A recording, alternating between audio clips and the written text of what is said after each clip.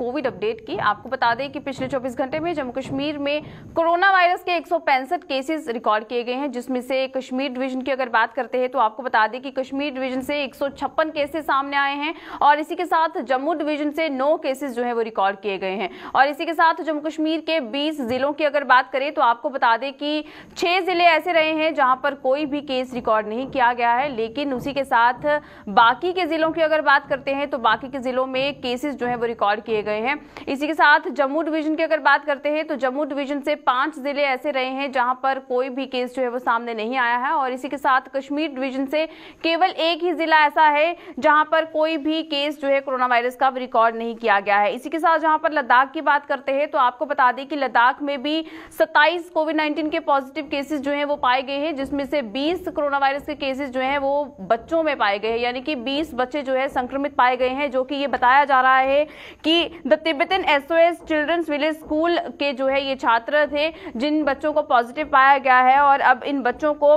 जब इनका Covid test किया गया है, उसमें ये पॉजिटिव पाए गए और इसी के साथ अब इन बच्चों को जो है एक तरह से आइसोलेशन में रखा गया है और पूरी इनकी जो एक तरह से इन पर नज़र जो है वो भी रखी जा रही है और साथ ही साथ जहाँ पर जिलों की अगर बात करें, जम्मू कश्मीर के, कि कौन कौन से ज़िले में कितने केसेस जो है वो पाए गए हैं, उसका भी आंकड़ा आपको बता देते हैं। तो जहाँ पर जम्मू ज़िले की बात करते हैं तो आपको बता दें कि जम्मू ज़िले से चार कोविड नाइन्टीन के पॉजिटिव केसेस पिछले 24 घंटे में पाए गए हैं। डोडा से दो, कठुआ से एक, वहीं पुंछ से एक और रियासी से भी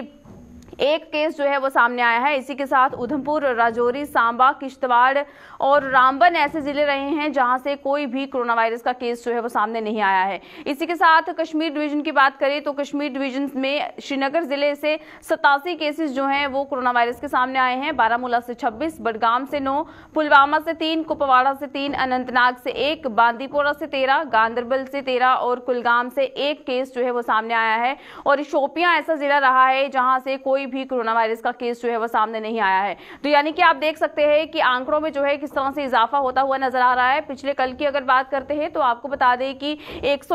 केसेस जो है वो पाए गए थे पिछले चौबीस घंटे में। और आज की अगर बात करते हैं, आज का आंकड़ा जो है वो उसमें जो एक तरह से बढ़ोतरी जो है वो देखने को मिली है, जहाँ पर एक सौ पैंसठ आंकड़ा जो है वो पहुँच गया है। इसी के साथ कश्मीर डिवीज़न की अगर बात करें तो कश्मीर डिवीज़न में सबसे ज़्यादा केसेस जो है वो सामने आ रहे हैं, जहाँ पर डेढ़ से पार जो है पिछले दो तीन दिन से आंकड़ा बना हुआ है। इसी के साथ जम्मू डिवीज़न से ज़्यादा केसेस सामने नहीं आ रहे हैं, लेकिन यहाँ पर लोगों को समझने की ज़रूरत है कि अगर एक भी कोरोना संक्रमित का जो केस है, अगर वो एक्टिव रहता है तो बहुत से लोगों को जो है इससे खतरा हो सकता है। इसी के साथ रिकवरीज जो हैं वो भी हो रही हैं। जहाँ पर कोविड 19 से रिकवर्ड पेशेंट्स की अगर बात करते हैं तो आपको बता दें कि पिछले 24 घंटे में 103 पेशेंट्स जो हैं वो रिकवर हो चुके हैं, जिसमें से पाँच जो हैं वो जम्मू डिवीज़न से थे और अट्ठानवे जो हैं वो कश्मीर डिवीज़न से हैं। और इसी के साथ, जहाँ पर म्यूकोर माइकोसिस के केसेस की अगर बात करें तो पिछले चौबीस घंटे में कोई भी म्यूकोर माइकोसिस का केस जो है वो रिकॉर्ड नहीं किया गया है। इसी के साथ कोविड टेस्टिंग जो है वो भी लगातार उसकी प्रक्रिया जारी है और यही कहा जा रहा है कि अगर किसी भी तरह का सिम्टम अगर आप में नज़र आता है तो आप जाकर कोविड टेस्टिंग ज़रूर कराएँ। और वहीं पर पिछले 24 घंटे की अगर बात करें तो आपको बता दें कि चवालीस से ज़्यादा लोगों ने पिछले 24 घंटे में कोविड टेस्टिंग जो है, वो भी करवाई है। इसी के साथ अब नंबर ऑफ़ एक्टिव केसेस की अगर बात करें तो आपको बता दें कि जम्मू कश्मीर यूटी में अब ग्यारह केसेस जो है, वो एक्टिव रह गए हैं, जिसमें से एक केसेस जो है, वो जम्मू डिवीज़न से हैं और एक केसेस जो है, वो कश्मीर डिवीज़न से हैं। तो यानी कि कश्मीर में जो है, अभी भी स्थिति एक तरह से भयंकर जो है वो बनी हुई है क्योंकि आंकड़ा जो है वो अभी भी दहलाने वाला है और इसी के साथ जहाँ पर आम जनता की बात करते हैं तो आम जनता को समझने की ज़रूरत है। जहाँ पर फेस्टिवल सीज़न जो है वो चल रहे थे, मार्केट्स में हमने देखा कि किस तरह की भीड़ जो है वो लगी थी और इस बीच आम जनता ने जिस तरह की कोरोना की जो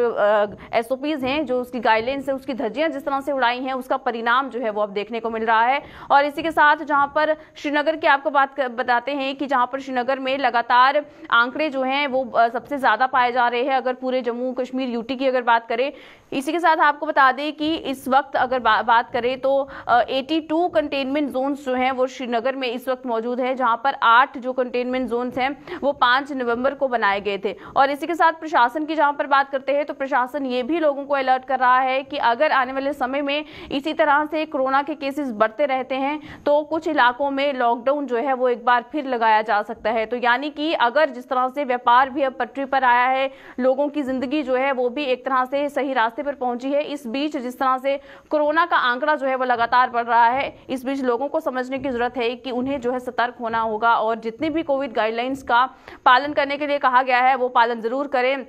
वरना इसका परिणाम यही हो सकता है, जिस तरह से आंकड़े बढ़ रहे हैं, एक बार फिर लॉकडाउन जो है वो लग सकता है और किस तरह से लोगों का व्यापार जो है उससे एक तरह से जो है उस पर इफ़ेक्ट पड़ता है, वो भी लोगों को काफ़ी एक तरह से चिंताजनक जो है वो स्थिति पैदा कर देता है। यहाँ पर अब लोगों को समझने की ज़रूरत है और साथ ही साथ प्रशासन ने भी जिस तरह के कदम उठाए हैं, उस पर और कड़े कदम जो है उठाने की ज़रूरत है जिस तरह से जगह जगह नाके जो है वो लगाए गए थे, जो लोग मास्क नहीं लगाते हैं। मास्क लगाना बहुत ज़रूरी है और सोशल डिस्टेंसिंग का पालन करना जो है वो भी बहुत ज़रूरी हो जाता है।